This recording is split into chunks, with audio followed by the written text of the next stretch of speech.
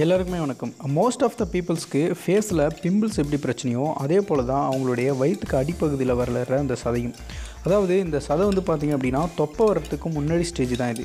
தொப்பை வந்த பிறகு அதை நம்ம அவ்வளோ ஈஸியாக வந்து சரி பண்ணிட முடியாது. நீங்கள் எவ்வளோ தான் ஹார்ட் ஒர்க் பண்ணாலுமே வந்து ஈஸியாக வந்து அது போகாது.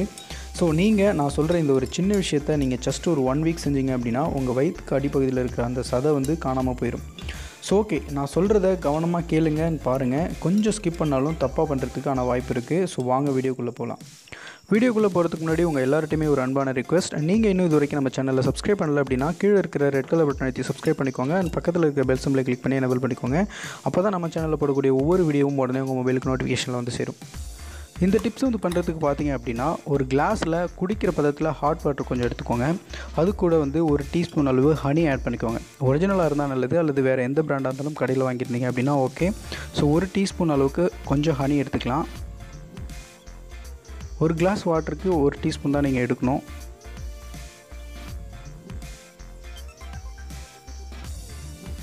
ஓகே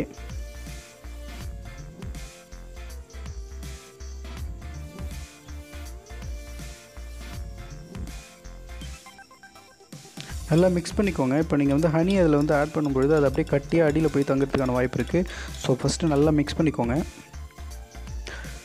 இந்த ட்ரிங்க் வந்து பார்த்தீங்க அப்படின்னா உங்களுடைய வயிற்றுக்கு அடிப்பகுதியில் இருக்க அந்த சதையை மட்டும்தான் குறைக்குமா அப்படின்னு பார்த்தீங்கன்னா உங்கள் கை கால் அண்ட் ஃபேஸில் இருக்கிற தேவையில்லாத கொழுப்பையும் வந்து நீக்கிறோம் இது வந்து ஒரு சிம்பிளான வீட்டில் இருக்கிற பொருளை மட்டுமே வச்சு பண்ணக்கூடிய ஒரு எளிமையான ஒரு டிப்ஸ் தான். நீங்கள் யார் வேணாலும் பண்ணலாம். பட் கண்டிப்பாக நீங்கள் வந்து இது ஒரு ஒன் வீக்காவது நீங்கள் தொடர்ந்து பண்ணால் தான் இதோடைய பயனை வந்து நீங்கள் வந்து பார்க்க முடியும்.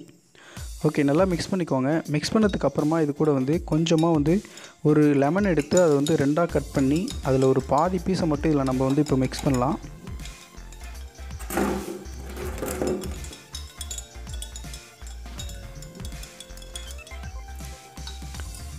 ஓகே மிக்ஸ் பண்ணியாச்சு.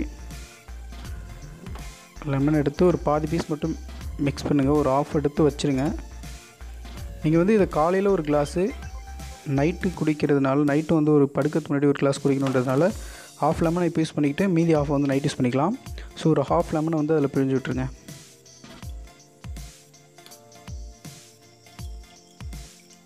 லெமனில் வந்து பார்த்திங்க அப்படின்னா சிட்ரிக் ஆசிட் இருக்கிறதுனால நம்ம பாடியில் இருக்கிற அந்த டாக்ஸஸ்லாம் வந்து ஈஸியாக ரிமூவ் பண்ணுறதுக்கு வந்து யூஸ் ஆகும். ஸோ வந்து நீங்கள் லெமன் வந்து கண்டிப்பாக ஆட் பண்ணி ஆகணும். ஓகே பண்ணியாச்சு.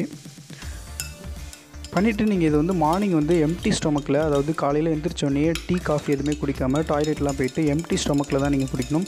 ஸோ நீங்கள் வந்து ஒரு ஒன் வீக் நீங்கள் கண்டினியூவாக குடிச்சிங்க அப்படின்னா மார்னிங் ஒன் ஒரு கிளாஸ் அதே மாதிரி நைட்டு படுக்கிறதுக்கு முன்னாடி ஒரு கிளாஸ் குடிச்சிங்க அப்படின்னா ஒரு ஒன் வீக்லேயே வந்து உங்களுடைய பாடி வந்து வெயிட் குறையிறத நீங்கள் வந்து நீங்களே பார்க்கலாம். ஸோ யூஸ் பண்ணி பார்த்துட்டு உங்களுடைய சஜஷன் என்ன அப்படின்றத கமெண்டில் தெரிவிங்க.